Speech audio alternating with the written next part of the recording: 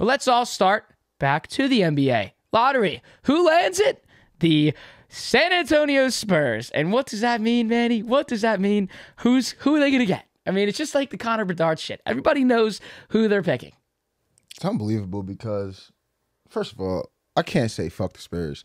But how how, how do we manage? I mean, it's not it's not too bad. I think them getting David Robinson one and, and, Tim Duncan one like that quick and that close together was fucked up. It has been a long time, but damn, they go through the they go through the depths of the shit. We we think Pop's gonna retire. Man looks like he needs to be in a nursing home. Stretch the fuck out.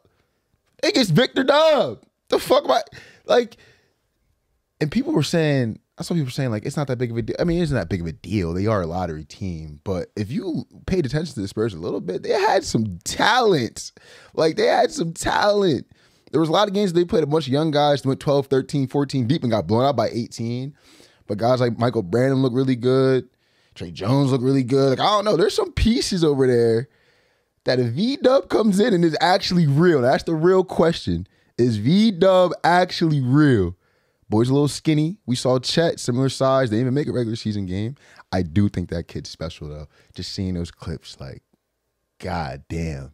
I but I mean, shout out to the Spurs. I I honestly, my whole lottery thing, I feel so bad for Rockets and Pistons fans. I mean, holy fuck. How did the Pistons fall that How, far? I, I mean, holy shit. How much do we have to go through? I thought about my uncle Mikey's in, in fucking Detroit. I wanted to call him, but I'm like, ah, if I call him right now, it's probably not a good time. How the fuck do we fall? I think they're fifth. Yeah, they're and the five. Rockets are sixth. It was- I think that's just cool. That's two straight kicks in the dick, like back to back. Here they go. literally were saying on the broadcast, they're like, wow, so that's because everything, like after each card kept turning, they were like, all right, that was exactly what we knew, according to plan, according to plan, according to plan. And then when the Pistons got flipped, everybody was like, just, you could hear in the broadcast, everyone was like, whoa, okay, so that's our big change. I don't know how they fell that far. And I'm saying the same thing. I mean, you would think a team that is in shambles like them would have had one of the biggest chances to get number one. It's posing the question for me. So since we do know these these lotteries are rigged, did they did they rig it for the Sixers back in the day? Did Hinkie have his hand in shit?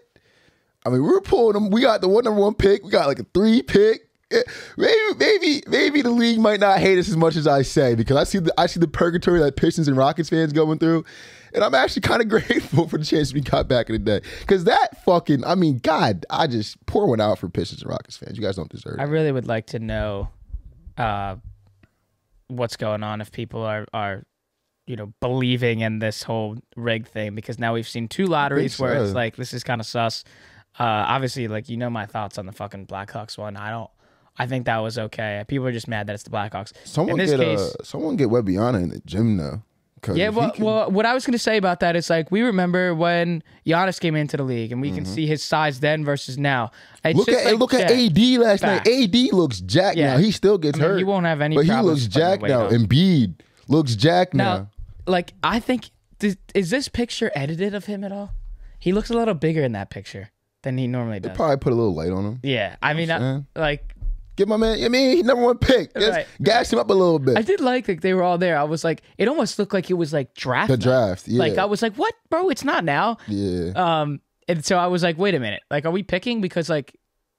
I guess you really have to have that confidence to know that you're getting drafted first. If like when the Spurs get it, regardless, like who, like who, like my family, my friends that are around me, everybody was just clapping. Everyone just because they just know like that's gonna be you. yeah. And like I saw this um on Fanduel, the odds uh for for V Dubs to go first overall, it's minus two hundred, and then it's like the rest of the field is like plus one ten or plus one fifteen, something like that. I know him is minus two hundred. I don't know if I'm He's going one, bro. so like, and I saw Joke actually tweeted, and he was like, "This is like actually one of the something along the lines of like this is actually one of the you know uh locks that I would actually throw on a 200." Is he- Meaning like, do you like fucking throw bands on the minus 200? I kind of have two questions to this. He's French, right? Okay. First question I have is gut feeling. Just your gut feeling. You watch these clips. Is he the real deal? Do you think? I do, I do. Second question. Is France about to cook the shot of this next fucking Olympics? I had a feeling you were yo, going there. France was I real. France was real last Olympics. And mistake me if I'm wrong. I think Joel Embiid had said something after the Olympics about possibly playing for France. I could be tweaked out. Someone fact check that. So I think Embiid can play for France, even though his citizenship is, I think, Cameroon or some shit like that. I think he can play for France. If he plays for France, if Victor plays for France, they might fuck us up next Olympics because we be acting too cool. I'd be interested to watch. this international basketball I think fucking expanding and shit This too. is also shining light on like international players coming to the NBA. Absolutely. You know, like this is going to be a number one pick from internationally versus you know going the traditional, you know, D1 school route, play maybe a year or two there, and then move on. Um, you know, so I think that's shining light there. While we're on this topic of college and international, do you want to shine some light here? Can we? Do we? Is this is this worthy of an applause? You tell me after I say it. Who? Uh, Bronny going to USC. Yeah, shout That- out Bronny. that's worth. That's worth it. That's worth it. shout out That's Bronny. worth it. That's worth it. I mean, good luck.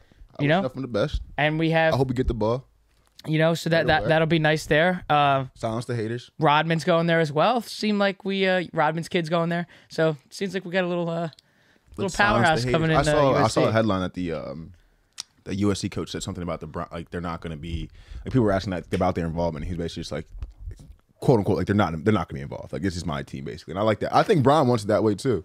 Nah, Yeah, coach I my kid like he's a right. regular human being. Like I'm here, I can talk to him after the games, but coach him like a regular human. I like that.